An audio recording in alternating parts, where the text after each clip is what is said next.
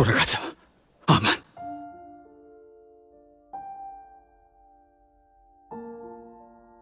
인간과 악마가 섞인 존재인 데런 종족의 탄생에는 두 가지의 설이 존재합니다. 첫 번째는 사슬 전쟁 당시 카제로스와 태초부터 존재한 자들이 창조한 붉은 달이 카제로스의 패배 이후 파괴되며 아크라시아 지상으로 추락할 때 부서진 파편으로 인해 그 영향을 받은 인간들이 데런이 되었다는 설. 두 번째는 악마와 인간 사이에서 태어난 혼혈 종족이 바로 데런이라는 설. 이 두 가지의 가설 말고도 어떤 방식이 되었든 아크라시아에는 데런 종족이 존재하며 살아가고 있습니다. 그리고 이 종족은 악마의 피가 섞여 있다는 이유로 탄압받고 차별받아 왔으며 세이크리아의 사제들에게 발각되어 학살당하기도 했었죠. 그렇기에 데론 종족은 사람들의 눈에 닿지 않는 곳, 일반적으로 생명체가 살지 못하는 장소로 도망치듯 이주하여 살아왔습니다. 데론 아마는 그렇기에 자신의 진실된 모습을 숨겨야 했습니다. 사제 아만으로서의 여정을 시작했고 아크를 찾아 나섰습니다. 빛과 어둠이 공존할 수 있는 세계를 꿈꾸며 루나페스를 지나던 중 모험가를 만나게 되었고 새로운 희망을 얻게 됩니다. 도움이 필요한 약한 사람을 돕고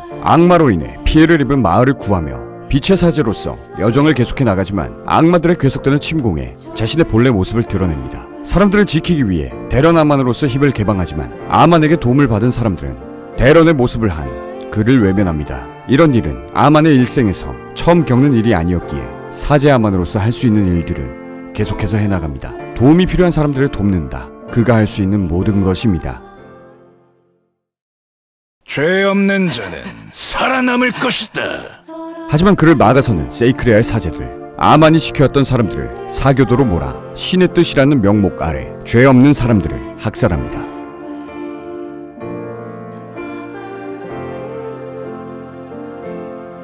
아파요, 사장님.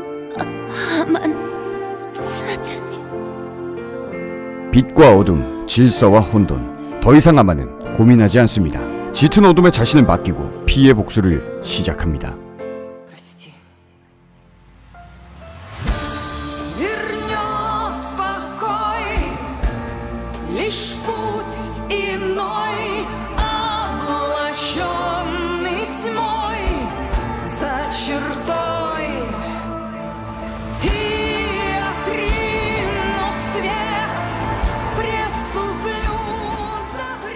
당신들은 절 알지 못합니다.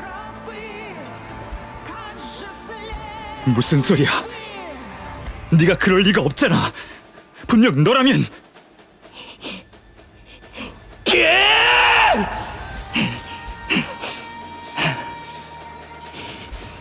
당신들과 나는 달라요.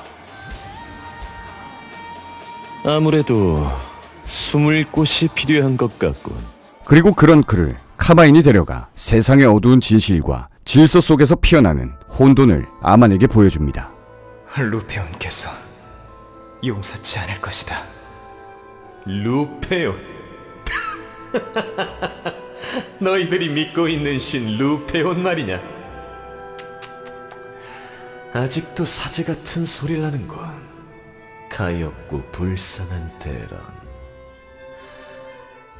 500년 전 너희들이 믿고 있던 그 잘난 신은 결국 너희들 앞에 나타나지 않았다. 언제까지 대답 없는 신에게 매달릴 참이냐? 하, 붉은 달이 뜨면 모든 게 끝난다. 그리고는 자신의 특별한 힘을 활용하여 무언가 계획을 꾸미고 잊혀진 로스타크의 행방을 찾아내는 데 성공하여 이를 미끼로 에스더 카단을 자신의 계획에 끌어들이는데 성공합니다. 루페온과 대면한 에스더 루테라는 카제로스를 봉인하는 것에 그쳤습니다.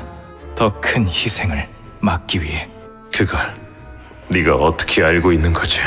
모험가의 길 엘가시아에서 벌어진 일련의 사건들에 직접 개입하여 모험가에게 말을 걸어옵니다. 하지만 세상의 불안과 탐욕은 루페온이 아크를 소유하며 시작되었습니다. 질서는 그것을 감추기 위한 족쇄일 뿐. 그들이 한 말이 진실이든 거짓이든 데러나만은 선택한 것 같습니다. 대악마 카제로스와의 계약을 이행하려 준비하고 있는 아만.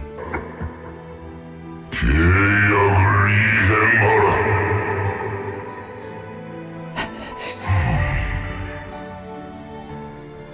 중요한 임무다. 절대 실수하지 말도록.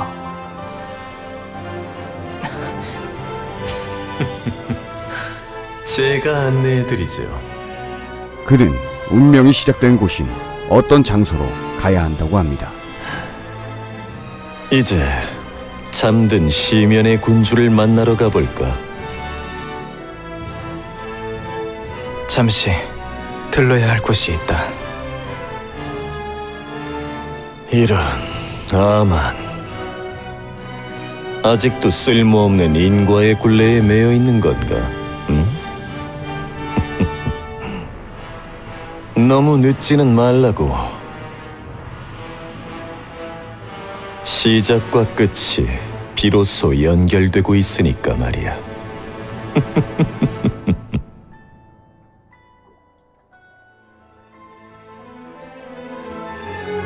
이제 머지않았다. 그리고 그곳에서 모험가를 기다리고 있습니다.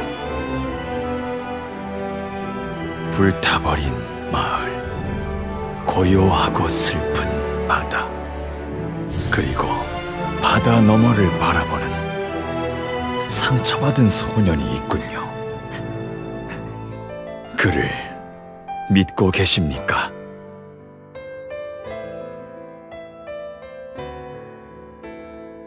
그가 헤맨 어둠의 끝에서 당신만은 빛이 되어주기를 운명이 시작된 곳으로 오세요.